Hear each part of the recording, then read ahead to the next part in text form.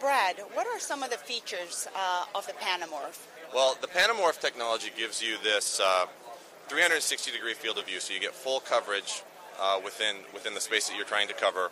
Uh, one of the uh, advantages for us is, you know, we already have a line of existing panoramic cameras. Uh, this gives us a more cost-effective solution for our customers for indoor applications where you might not need a full surround video multi-sensor panoramic camera. So this is a great option for people that are looking for, you know, a more cost-effective solution for indoor environments, and it complements our existing surround video products. It's great.